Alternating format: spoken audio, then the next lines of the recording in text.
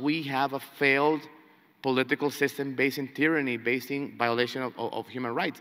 And since I chose to live in a country I love, which is Nicaragua, the only way to pursue happiness is you have basic freedoms. So someone has to do this job.